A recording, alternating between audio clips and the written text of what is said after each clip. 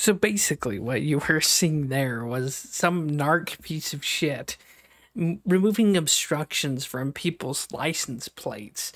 You know, usually I'm for vigilantism, you know, taking out the trash, taking out the garbage, re- removing the predators, or, or, or, like, you know, taking out drug dealers. You know, I, I'm a Punisher fan but this kind of narc shit is a whole nother level.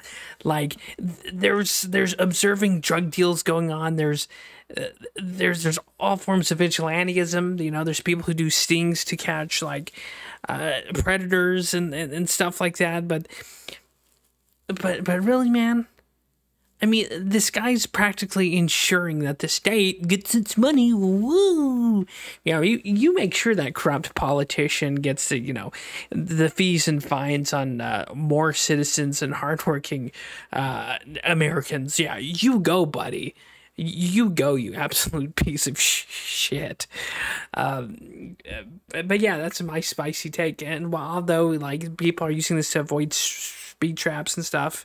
And legally, I can't say breaks the law, but you know, there, there comes a point where if your government's taking your money and sending it overseas and to Ukraine and, and other hellscapes of the world so they can kill other human beings, but yet we can't afford shit for homeless veterans. We can't afford stuff to help people recover from drug drug addictions and homelessness here in America.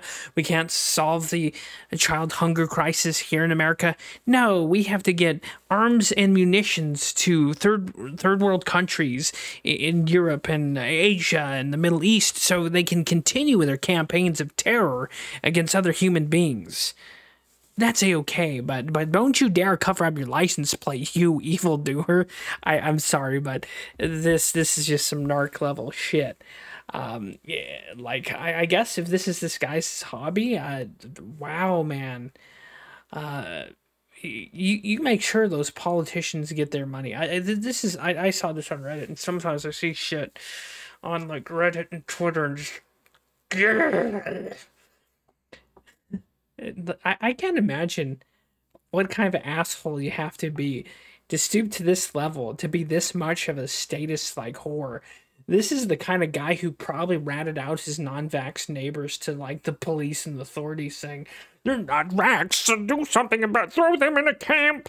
Right? He's probably that kind of fucking guy. And this is the kind of guy if if he's your neighbor and authoritarian rolls around, he's probably gonna be the one that's gonna like red flag your ass or like narc on you to the like authoritarian police or like federal Gestapo and have your shit pushed in just because you like looked at his like pet dog weird or it's like Pomeranian you, you like snarl this Pomeranian or something. He probably seems like that kind of person, but uh, yeah, this level, like usually for vigilantism, uh, but but there's a point at which, uh, you know, hell, there's even like this the uh, Los Angeles Sheriff's Department is notoriously corrupt. Like they steal drug dealers' money and shit like that allegedly of course. Don't fucking kill me. But uh, yeah i'm even for like dirty cops on that. I mean shoot that money i mean at least they're using that for their own personal gain versus a drug dealer uh, using it to, to buy guns and push more poison. But uh, then again you know corrupt cops are bad in any aspect. Uh, but yeah this is the kind of guy who's also like a, just a pro-government like butt whore uh, I would assume so if someone's doing this. And, you know, of course, if you look, they're New York, Michigan, uh, Maryland plates. So you know this guy, you know, you know his politics. He's he's a staunch, uh, just absolute statist butt slut. And uh, wow, uh, all I can say is just that's it's pretty sad especially in those states where you like high crime and violence is like taking off. But hey, you police and license plate bandits and speed trap avoiders. And even if they do, you think this is going to curtail people's behavior and speeding? You think this is going to make them drive safer? No. No, it's not. You harebrained, just ding dong. But yeah, I saw this trigger the shit out of me. And uh, you know, uh, it's just God.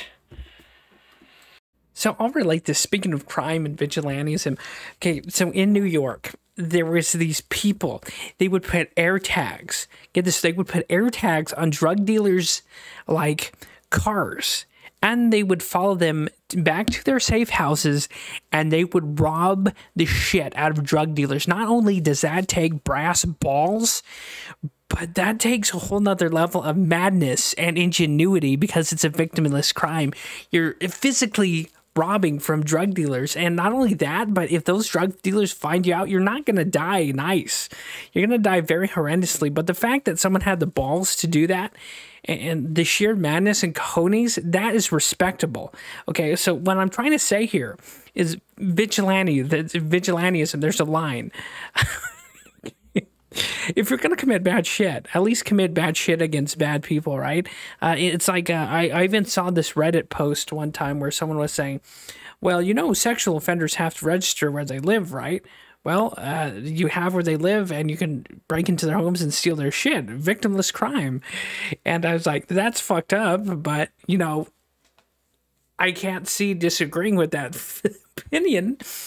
So there comes a point with vigilantism, I, I guess, in my weird sense of morality is uh, as long as it's going to, if you're victimizing criminals, I guess that's kind of fucked up.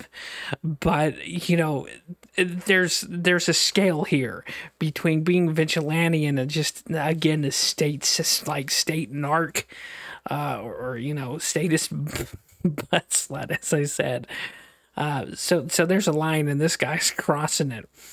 Uh, but then again, that's just my weird ass opinion. Maybe you guys differ. Uh, maybe you guys are like support this dude. Maybe uh, someone out there thinks, oh, he's he's really doing a service. You know, in a country that's the United States, quite literally falling apart at the seams and the wheels are coming off. The, the the steering wheel has detached. The the the windows don't roll down, and we're going off a cliff. Uh, but I I don't know. It just seemed a little weird to me that uh, someone. Who knows? Maybe these guys are serial offenders, like he's doing, but I, I don't know. The situation still stands that this just for whatever reason just made me empirically like I'm tilted but then again, that's my problem. I'm tilted at the, the littlest of things that just makes me tilt. In fact, like I'm tilted all the time. Uh, but yeah, hopefully you got a kick out of this. Uh, comment below. What's what's your opinion on this guy? Is what he's doing justified? Is it too far? Does it cross the the, the line? Or or maybe I'm wrong. Uh, but hey, compared to the stories where the guys are robbing drug dealers and uh, uh, the, the other guy suggesting you steal from uh, predators, you know, I don't know. It, it just seems like there's a scale here to vigilantism, in my opinion. But then again, I have a, I have a weird sense of uh, moral justice. But but bullying and exposing your, your fellow citizen to the tax man is pretty like narc behavior. Hey you want to click some extra shit? Over there, over there, up here, stuff down there. Oh yeah.